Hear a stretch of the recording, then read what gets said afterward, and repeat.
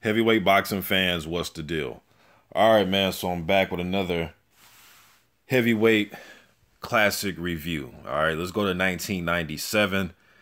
Man, I remember this fight all too well, man. This uh the second fight and the first fight. I was a huge, huge Tyson fan, man, growing up. Um took me a while to get over this loss. And some of you big Tyson fans, if you're like me coming up, you know what I mean about your guy losing. Then you got to go to school the following Monday. Well, at least the first fight was during the school year. The second fight was during the summer break, so I didn't have to go to school. But um, wow, man, I haven't watched this fight in a while. I'm gonna just go round by round and give my review to this fight. Um, but this was the night, man, where Evander Holyfield, where he where I started to respect him. Now, some of you may say, "Hey, what do you mean? Evander was a undisputed cruiserweight champion. He uh, had a shootout, impressive knockout over Dokes. He beat uh, Riddick Bowe. He came back and beat Riddick Bowe the second time. He's a warrior. What do you mean you didn't respect him? Beat Ray Mercer. It wasn't. It's just that I was a huge Tyson fan, man. I was damn near in my fanboy phase back then, and I just didn't like any of his opponents, even if they were great fighters. I just did not like them, and I hated Evander Holyfield, man. Man, I hated Holyfield.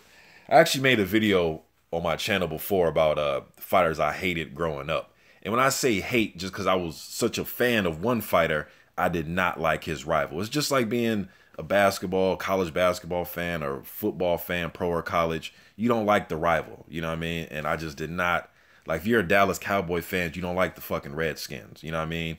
uh, Giants fans don't like Eagles fans. You know what I mean? So it was like that. So, oh boy, let's just go through it. But uh, we know Holyfield sparked the the um, the upset in the first fight, and it was a classic, man. I'm I'm going to review that fight. I'm gonna get to that fight, and that fight was a classic fight. Uh, the second time around, Mike came in shape. He looked fast and furious. Um, they built this one. What did, what did they build this fight? Uh, I think it was called uh, The Sound and the Fury. The first one was called Finally.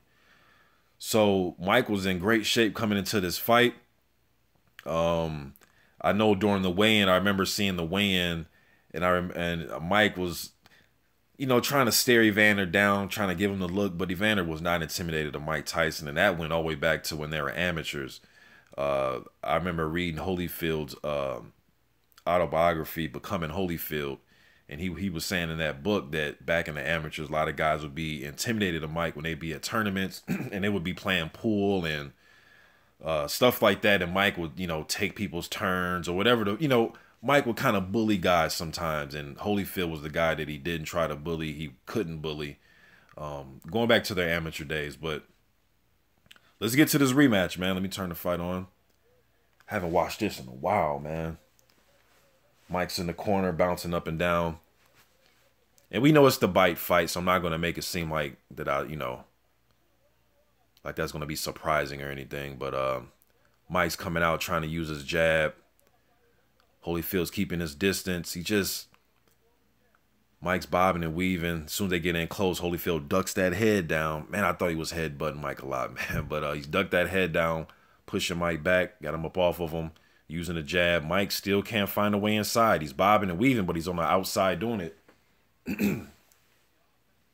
Holyfield using the jab, put up the. Mike tried to land a, a, hook, and then as soon as they get inside, Holyfield is wrapping Mike's left arm up, so Mike can't get no inside hooks off. That left hook he likes to throw on the inside, the left hook followed by the uppercut, couldn't do it. Holyfield wrapping him up. Mills Lane broke him. They wrap up again. Holyfield is just, he's tying up Mike's left arm. He is not letting him get any right hooks on the inside. Mike's trying to bob and weave his way in, but Holyfield's meeting him with, with a jab, and he's clinching him right away. Holyfield with the one-two jab right hand, push Mike off. Mike right hand miss. Mike, instead of getting in Holyfield's chest, Mike was standing kind of straight up. Holyfield's about six two and a half. Mike's about what about five eleven and Mike standing up. Holyfield's bending his head down. He got his head down, bending it towards Mike, and Mike will just stand. Right now, he's standing straight up. Mike should have tried to get under Holyfield's chin. You know what I mean? They're wrapping up, clinching. Mills Lane breaks him. Holyfield takes center of the ring. Mike is one shot at a time, man. It's not working. He's trying to throw hooks. Ooh, good good exchange. Holyfield got Mike against the ropes. Measuring him with the jab. Ooh, good right hand by Holyfield. Good uppercut to the body for Holyfield. They wrapping up on the inside. Mike's not doing anything. Holyfield is wrapping that left arm up. He is not. Holyfield actually sparred with David Tua. I'm not sure if it's the first fight or the second fight, but he actually sparred. That footage is on YouTube. Type in, go to the YouTube search box, type in Holyfield David Tua sparring, and it pops up. So Holyfield had good sparring for this. Uh, ooh, he's rocking Mike. Good left hook, good right hook. Mike against throw. Ooh, another hook by Holyfield. Mike's coming back with punches. They're not just having no effect, man. Holyfield is rocking Mike. Push Mike off. Yeah, just round one, you knew this was not going to be a good night for Mike, man. Holyfield just had his number. Ooh, good good jab by Holyfield. Keeping Mike off balance. And as soon as they get close, Mike isn't throwing. He's just susceptible to just clinching. And Mike used to do this early in his career. He worked on the inside. Don't get me wrong. Mike was a dominant dynamite uh, fighter on the inside, but sometimes he would just hold. If you want to clinch, he'll clinch right with you. Yeah, staring each other down in and around. Definitely a holy Holyfield round, man. Just backing Mike up. And if you ask somebody, you say, hey, who's the harder punch between Tyson and Holyfield? A lot of people say Mike Tyson, you know, the KO percentage, the highlight reel knockouts. But sometimes when guys get in there, the guy that is viewed as the lesser puncher of the two actually will have the advantage for punching power when they fight each other in the ring. You know what I mean? That the night of the fight. So it's always tricky with punching power, man. And I don't know, you know, Holyfield had good power in my opinion, man. You know what I mean? He was able to uh, knock down Ray Mercer. That's at that time, that was a great feat. I think Mercer, what, Mercer only got stopped one time in his career. Was it to one of the Klitschko's? Somebody correct me if I'm wrong. Yeah, Mike's trying to crouch. Ooh, good. He's trying to crouch down, but he's running right into hooks. Holyfield is switching levels on Mike. Mike goes down a level. Holyfield goes down right with him. Mike came out kind of fast. They're clinching again. Now, Holy, now Mike look like he's more clinching Holyfield. He has his arm on the outside of Holyfield's arm that time. Mike needs to double and triple up the jab, man. He's just trying to do one jab and come in. He's bobbing and weaving. But he's bobbing and weaving, standing right in front of Holyfield. Holyfield's trying to time him. Holyfield's bobbing and while Mike is bobbing and weaving, Holyfield is kind of feinting at him too. So it's kind of throwing Mike off. Now Holyfield is looking at the ref. He's looking at Mills Lane. He got cut with a headbutt. He's looking at Mills Lane. And right when I seen Mike doing that, Holyfield kept punching. While Mike was complaining to Mills Lane, Holyfield keeps punching. Mike has a cut over the right eye. And that seemed like it took the fight out of Mike a little bit. All the way came out charging with another left hook, but it's just one hard shot, then he clinches. One hard shot, then he clinches. Holyfield's wrapping him up, walking him backwards, taking the steam out of Mike, taking the confidence away. Whenever you wrap up with Mike, do not let him walk you backwards, man. You walk him backwards. Or you push him off, a la George Foreman. Holyfield keeping his distance. When they get in close, he's wrapping Mike up, being rough. Good hook to the body. Mike's complaining to Mills Lane while they're clinching.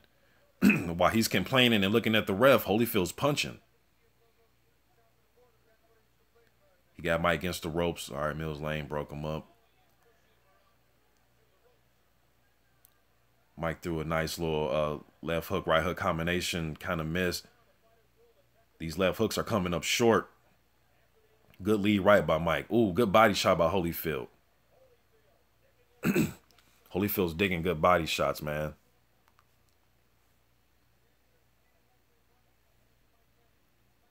Holyfield's strong, man. Strong dude.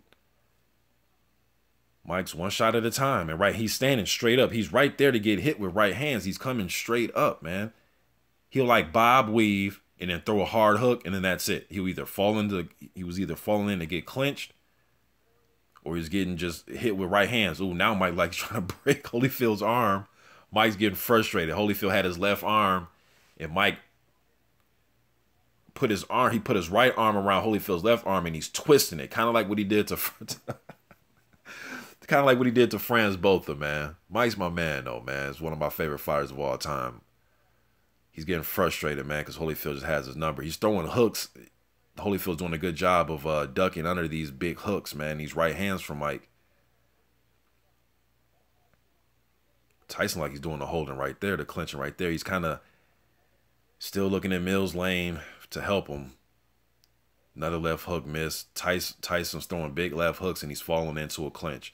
And Holyfield's doing a great job of wrapping up his left arm on the inside. Good uh, strategic game plan by Holyfield to wrap up that left arm. Last thing you want to do, now they're staring each other down at the end of the round. In the round two, gave that to Holyfield. You know, this just picked up from the last fight, man. They're working on Mike's right eye. He's squinting and yeah, she said ah ah. Mike said ah. Get Stacy McKinley back there.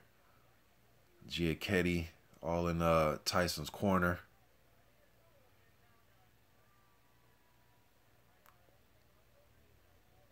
Yeah, Holyfield's dominating, man both of these guys, man, uh, Holyfield made a whopping 30, was it? Somebody correct me if I'm wrong, man. I think it was 35 or 33 million. It was well over 30 million. Think it was 35 million for this rematch, and Mike made 30 million. This is back in 97, y'all. Like, oh, you know, that's crazy, man. 35 million and then 30 million a piece, you know, not combined. Holyfield made 35. Mike made 30. I know Mike got fined 10% of his purse after this fight. So was that thir- uh, 3 million for the uh, ear bite? Okay, third round. Mike's coming out. Good hooks, good hook to the body. Good right hand on Holyfield. He missed the left hook. Tyson got Holyfield against the ropes. And Holyfield just nullified all that by just grabbing. Then he stepped back through a good hook. Now he got Tyson against the ropes. Good right hand by Holyfield. They clinch again. Mike's looking at Mills Lane.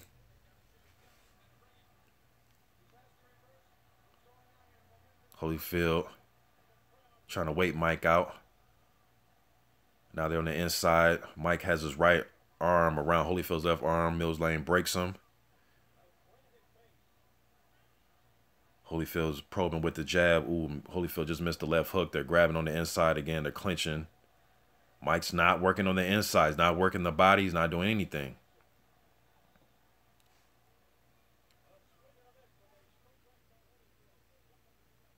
Mike, ooh, good hook by Mike left hook, but Holyfield kind of caught it with his right glove. They're still clinching. Mike has the elbow on Holyfield's neck now. Mills Lane's trying to break him, and Mike has his had his left forearm under Holyfield by his neck, pressing his neck. They're on the inside. Mike's trying to land some body shots. Holyfield's dropping levels right. He's dropping levels right with Mike, and while he's doing it, he has his head right Mike's face.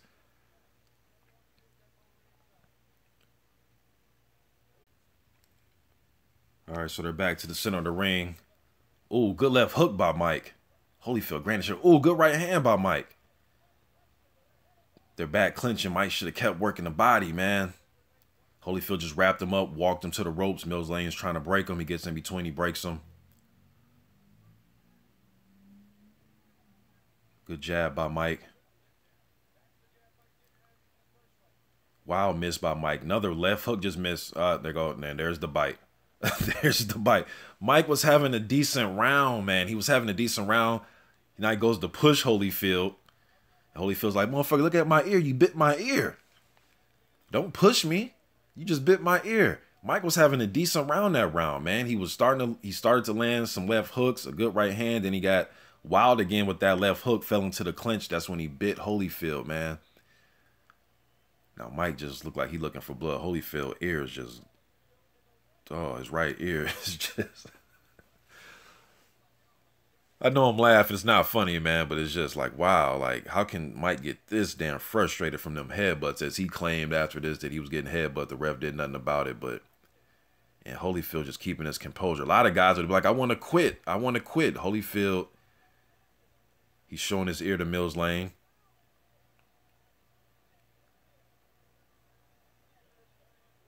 Looking at the ear right now. Holyfield just composed Mike over there, just like, man, fuck your ear. That's that's the look he has. Mike trying to come at Holyfield, Mills Lane holding him back. Holyfield just, man, this dude, it's a fucking warrior right here, man. Usually guys would have been like, I'm done. He bit my ear. The you know, everybody, the whole world can see that he just bit my ear. This is over with. First they were saying stop, and now Mills Lane's checking with the he just asked the doc, can he go on? Holyfield said, yeah, Holyfield's ready to go, man. He kind of shaking his head like, this motherfucker bit me, but he, you know, he's not trying to quit. He's not trying to get his gloves cut off or anything. He's not trying to get out the ring and say, hey, I won by DQ. It, you know, and I, I wonder, man, if Mike was like, shit, this ain't enough to get me DQ'd. You know I mean? After he bit him, because obviously Mike didn't want to be there once he bit him. So and you can call it anger and he just got pissed off. That's fine too. But you know when you do that, usually, although I did see Golota bite a dude. Who was the dude that he bit, man?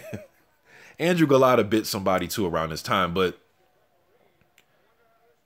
Holyfield saying prayers to, to himself in the corner as he comes out. He's ready to fight again.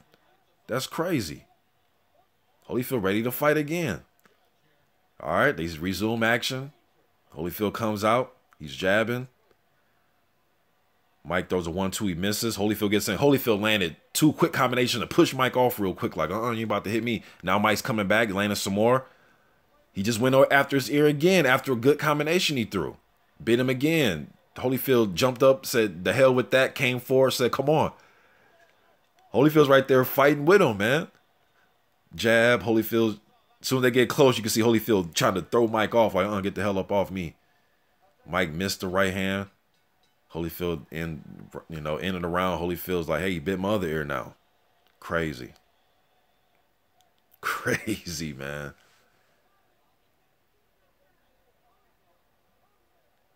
Oh shit.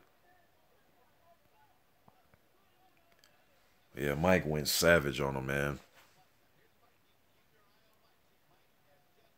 Wow you know, even though this is this is old, man, it's still when you see it sometime, it's still just kind of um, for guys at this level. I know there's been times where guys have bit guys and done weird things in the ring, but at this level though, where guys are making this much money, uh, damn, Mike just bit his shit off. But uh, guys are making this type of money view at this level. You know, you really don't see stuff like this. Now, this one they're gonna end it right here, man. Everybody's coming in the ring. Mike looking like he ready. Mike look like he ready to uh, bite, scratch, kick, elbow, knee. Looks like he wants nothing to do with a boxing match. But see, but that's the thing. Now Mike wants to show all, all this rage and all this venom and all this. It's like, but Mike, man, why didn't you show this during round one, two, three? You know, why didn't you show this when you had the chance to show this? Uh, well, I guess he did, right, by biting him. But I'm talking about under the rules though. You know what I mean? Yeah, man, this night is unforgettable right here, man. I remember this one clear as day, man. Um, haven't watched it in a while. It's been some years, years since I actually sat down and watched the full fight, man. Probably a good shit. I don't know, man. 10 years probably. It's been a while. 10, 12 years since I watched this fight in full kind of tough for me watching Mike's losses, man, because I was a huge Tyson fan, man. So when he would lose fights, like the Douglas fight, I haven't watched that shit, man. Years. It's been years since I watched it in its totality. Like watched the actual full fight. Long. It's been a long time. Yeah, Mike landed the right hand to the body, the left hook, and then he just uh, it was a, it was a right hand left hook bite combination. Damn. Holyfield got pissed. He jumped up in there, stomped his foot, and came back forward to fight. That's when I had to respect Evander, man, because it was like, damn, after getting bit like this, and he wanted to come back and fight.